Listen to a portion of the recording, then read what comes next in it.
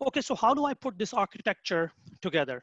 How does it look like uh, from the high level design perspective? So when we talk to our customer, this is the approach we follow. So first of all, you need to think from the architecture point of view. So you can see I have access, transit, and app layer here. And then this access layer is providing connectivity back to on-prem with the, with the encryption and the visibility that you need. And then in the transit layer, I will deploy Aviatrix Transit Gateway in the high available fashion. And then this will become my hub, and then I will attach spokes to it, right? So this is how I would start for, for my customer.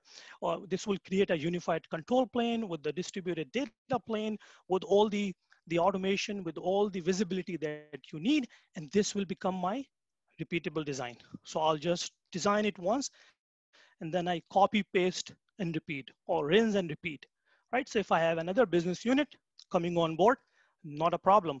I will just deploy it for them. Then the second one, in another region, okay, no problem. I will deploy it for my customers or my clients. And that will give you this holistic picture where you're getting all the benefits of this platform. So you're getting the architecture, you're getting the cloud networking, you're getting all the BGP advanced knobs for proper traffic engineering. Your overlapping, IP issues are resolved. You're providing the the security that your customers or your clients are demanding. You're providing the segmentation. So for example, you have this green VPC here. The second one is there. Yeah, they can talk to each other, but the blue might not want to talk because this is prod, this could be dev. Depending on the, the policy or the profile you define, we can achieve your desired outcome. And then the cloud access I talked about doesn't really matter if you have contractors, partners, employees, if you have SD-WAN, legacy branches, they can all connect to this cloud network with this architecture approach. And the Terraform, I talked about the controller gives you the visibility, the automation.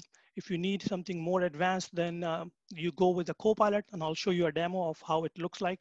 So that's all given as part of this architecture.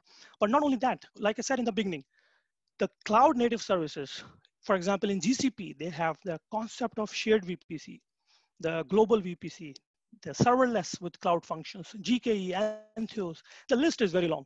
We do understand all those constructs and we provide you a solution with our cloud networking approach. Okay, and this is this is the power of the architecture I was talking about. So in this slide, you notice I have GCP in the next slide, what I'm gonna do, I'm gonna just change this logo and everything will remain the same. And that's the power I was talking about. So now in the multi-cloud scenario, if you're extending from GCP to AWS, you don't have to do any guessworks. Everything is already there for you. So now you get all the features, right? With But with multiple clouds in place. So you have the BGP coming in, you have multiple ways to reach to the other side. If one way go, goes down, then you have another way to reach to the other side on all the other features that I listed here and talked about. And obviously this list is just a subset of what we, what we provide. If you want to know more details about what we can do with GCP or in a multiple cloud scenario, please talk to us or search us on our, on our website.